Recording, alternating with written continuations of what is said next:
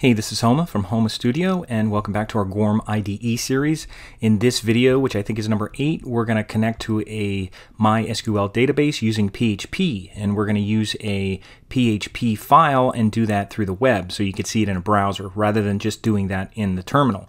So where I am right now is I have my Goorm PHP container open, and what we're going to do is we're going to make a new folder in here to do this. Also, I'll open up my startup text, and I'll get my SQL server started just by copying and pasting and then I'll get my Apache web server also going and I do this every time these two files and I'll paste that and hit return or enter and make sure they say done and they don't say fail. So we have everything running and I'm going to go to project running URL import and I'm going to open up in a browser. Right now, I'm going to actually go to phpMyAdmin because we're going to need to look at our database a little bit to get some information. So I'll just type in phpMyAdmin. I think I have that right. And we're going to log in with phpMyAdmin as the username and root as the password. And keep in mind, you can change this at some point if you need. And in our last video, we created a database called my underscore CDs, all lowercase. And it consisted of a table called CDs. And here's the CDs table. And inside there, we'll ignore all here, there were six items. So there were six rows in our table. And so far they were just Smith CDs that I had in some kind of made up CD database. Anyway, we're going to connect to that. So I'm going to go back to Goorm and I'll cancel out of this, even though we will open a file, but I'll just cancel right now. And I'm going to make a folder inside here. Now, at one point, there was a problem making a folder. You had to use terminal to do it, but you should be able to go right on this folder and hit the plus sign and I'm going to make a folder or directory and I'll just call it uh, CD for now. And I'll just hit OK.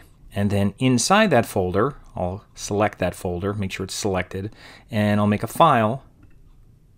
And I'll just call it index.php and it has to have the .php so it knows it's a PHP page and our server will recognize that code when it's in there and it has to be indexed because that's the first page that's going to be in that folder.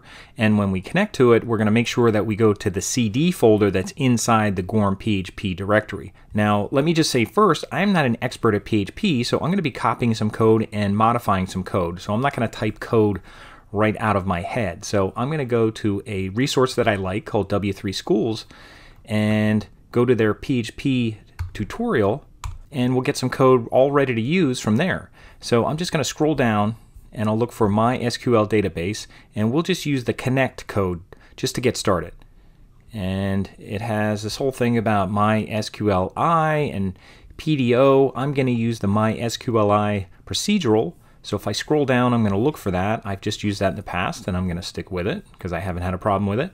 And this is the code and I'm just going to copy this code and it's going to connect to our database. That's all this code is going to do. So I'm going to copy that and I'll just go back here and I'll paste over this because it will have PHP tags in there. So there they are. So there's the opening PHP tag, this is the closing, and it has some PHP variables that start with a dollar sign and they represent localhost is our server. Our username is going to be PHP myadmin, so I'll put in PHP myadmin if you did something different or if you create something different, make sure you change that and let me make sure I don't have an extra Y in there, PHP myadmin. and our password is root. And we're just connecting to the server right now. We're not connecting to our database. Now, this is a function, a MySQLi function, that's specifically used for connecting to the server. And it's called con with a dollar sign. And it's basically using these variables to connect. And that's all we're doing. We're not going to the database yet. And then there's just a little statement down here. Let me bring this down a little bit. And it's just an if statement. It doesn't even have an else. And it's basically if not. It has an exclamation point, And it's basically saying if it doesn't connect, it's going to say connection failed and it's going to show an error. And then if it does connect, it's going to echo. Echo is PHP for kind of printing out. And it'll say echo connected successfully. So that's our goal to say to have it say connected successfully. Now we can have an if else statement if we wanted to and we can put whatever we want, but we'll just use this for now. So we're going to see if we could connect using this. It has an asterisk there right now, so that means it's not saved. So I'm going to do Command S because I'm on a Mac and I'll save it and then I'll view this page. Now the easiest thing is just to go back here and click on this button and it opens up a new tab.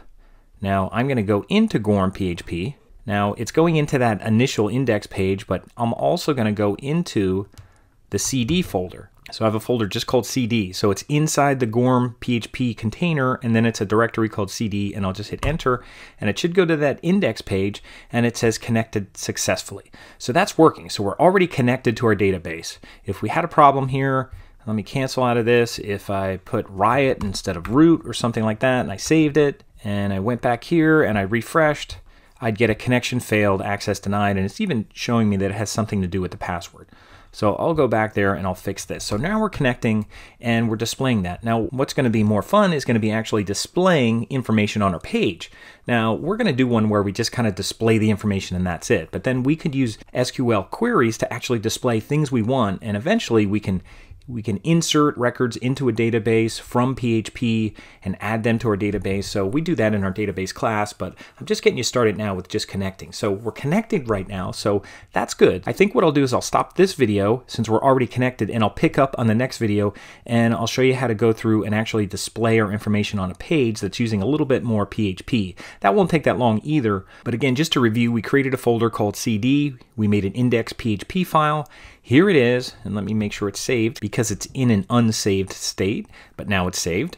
And we started up our MySQL server, we started up our web server, and then we made sure we viewed our page wherever it is. It's in a directory called CD, and there it is. Now, if I refresh it, now that I update it again, now it should say connected successfully. So we're connected using PHP. The next thing we're going to do is display some information on our page, and we'll do that in our next video.